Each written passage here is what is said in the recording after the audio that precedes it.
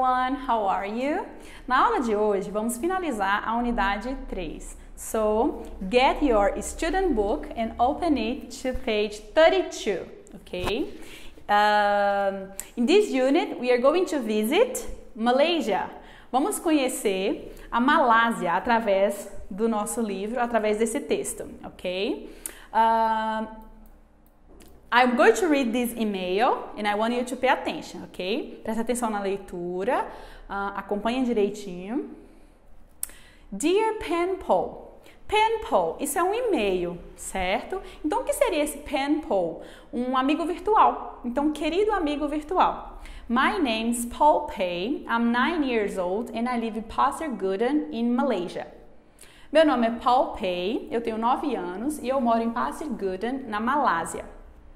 I want you, uh, I want to tell you about a special festival in my hometown. Gostaria de falar com vocês sobre um festival especial em minha cidade natal. Every year we have an international kite festival in February.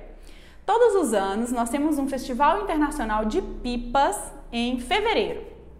Kites are very popular in Malaysia. Are they popular in your country? Elas são populares no seu país? People from all over the world, including Germany, the USA, Taiwan, visit us for our colorful festival. Uh, muitas pessoas de todo o mundo, incluindo Alemanha, Estados Unidos, Taiwan, nos visitam para o nosso festival colorido. The kites are fantastic. They're beautiful. As pipas são fantásticas. Elas são lindas. Please Tell me about a festival in your country. Por favor, conte-me sobre um festival no seu país. Write me soon, Paul Pei. Escreva-me em breve, Paul Pei. I'm going to repeat the reading, ok? Vou ler novamente sem pausas. Um, e aí você vai pausar logo depois para fazer a leitura, ok? Dear Pen Paul, my name is Paul Pei. I'm nine years old and I live in Pasir Gudang in Malaysia. I want to tell you about a special festival in my hometown. Every year, we have International Kite Festival in February. Kites are very popular in Malaysia. Are they popular in your country? People all over the world, including Germany, the USA, and Taiwan, visit us for our colorful festival. The kites are fantastic, they're beautiful. Please tell me about a festival in your country. Write me soon, Paul Pay. Now, that's your turn. Pause the video and do yourself. Vocês vão pausar o vídeo e essa é a vez de vocês. Tá. Right, read and answer. We have here three questions and these questions are according to the text, ok? Todas essas perguntinhas são de acordo com o texto. Uh, vocês vão responder, não vou fazer a correção agora, a correção será feita quando retornarmos, ok? Quero que vocês procurem direitinho, procurem fazer respostas longas, ok? E vou corrigir individualmente no nosso retorno. The first question is, what is Paul Pei's nationality? What is Paul Pei's nationality? Qual é a nacionalidade dela? Okay, you're going to write she is and finish your answer. Find words she used to describe the festival and the kites. Quais palavras usadas no texto descrevem o festival e as pipas? Quais foram as palavras que ela usou para descrever o festival e a, a pipa? Ok? As pipas. Você vai usar todos os adjetivos usados. Number three. Can you describe the kite in the picture? Look here. Você consegue descrever a pipa nessa figura? Você vai olhar para essa figura aqui e fazer a descrição. Você vai usar it is, e aí você pode usar a cor, o tamanho, o formato para descrevê-la, ok? Think twice. This is a moment to think in Portuguese. Esse é um momento para você pensar, mas em português, ok? Compare the kite festival to a festival in your country. How is the same and how is it different? Pense aí em um festival que acontece aqui no Brasil. Algum tipo de festival que nós celebramos, nós comemoramos aqui no Brasil. Você vai comparar em que pontos esse festival se parece com o festival de pipas e em que ponto ele, ele é diferente, ok? Quais são as similaridades e as diferenças entre esses dois festivais. Two, how do festivals help you to understand other people? Qual a importância desses festivais para os países? Então, pensando em um festival uh, aqui no Brasil, por exemplo, o São João, qual a importância do São João para nós brasileiros? E qual você acha que é a importância de um festival de pipas uh, pro, pro, para a Malásia? Vamos pensar um pouquinho aí? Como é importante? Qual a importância? Por que é importante? Ok, now turn the page. This is time to talk about a festival here. Nessa parte, nós vamos falar sobre um festival aqui do Brasil. Vocês podem escolher. Uh, eu sugiro que vocês façam sobre o São João ou o Carnaval, que são dois bastante populares uh, entre, entre, a gente, certo? São dois festivais que gostamos muito, então você pode escolher um desses dois para estar tá descrevendo nessa parte, ok? Que tipo de informação? When is the festival? Quando é esse festival? What is the festival called? Como é chamado esse festival? What happens at the festival? O que, que acontece nesse festival? What clothes do people wear? Que tipo de roupa as pessoas usam nesse festival? And why do you like it? Por que, que você gosta? Ok? E aí nós vamos usar essas informações para fazer um textozinho similar a esse daqui. A gente mais uma vez vai fazer um texto próprio usando a estrutura desse textozinho do livro, ok? Let's listen. Vamos ouvir. Unit 3, Lesson 8, Activity 3, page 33. Present. Let me tell you about our Halloween festival. It's cool. The festival is in October, the 31st, and it's really spooky. People wear scary costumes like ghosts or witches, and they make faces and pumpkins. I like the festival because we play tricks on people.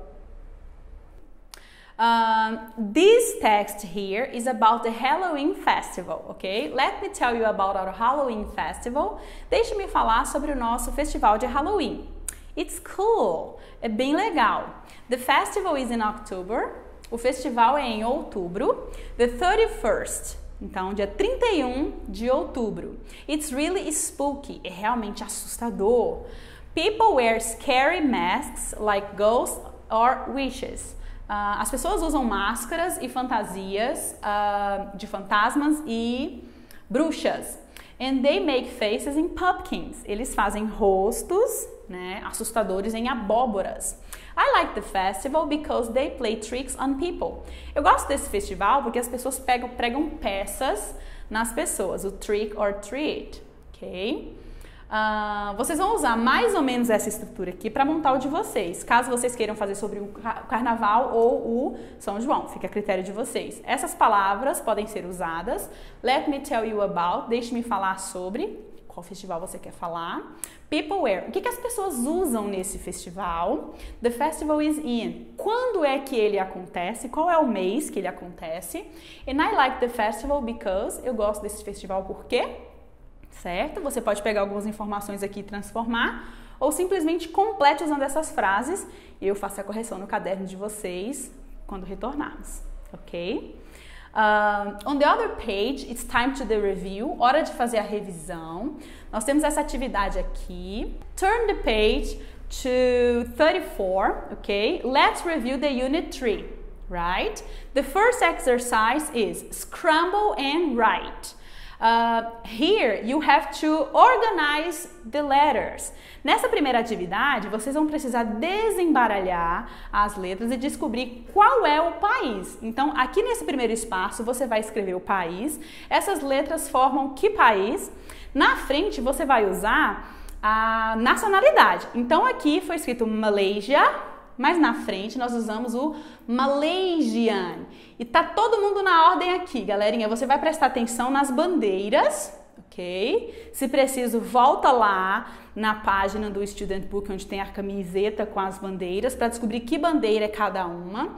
Para descobrir o que? Se você vai usar he ou she quando for formar as frases com a nacionalidade. A segunda frase A segunda frase é formada com o país Turkey. Turkey. Você vai olhar qual dessas bandeiras é a bandeira da Turquia. E aí você vai usar he ou she. E ao invés de usar Turkey, você vai usar Turkish. Primeira coluna país, segunda coluna nacionalidade. Ok? Exercise 2. Complete using words from the box. Você vai completar todas as frases aqui usando os, as palavrinhas na caixinha, né? Todas essas palavras são pronomes oblíquos, ok? Object pronoun. So, I can see Zach. He's waving to me. Eu posso ver o Zach, ele está acenando para mim. Uh, where's my sister? Sister, irmã. Eu não consigo vê-la. Como seria esse ela para sister? Qual dessas palavrinhas? Complete todos para mim, ok? Activity time. Time to get your workbook, alright? Uh, get your workbook and open to page 27, okay? Open it to page 27.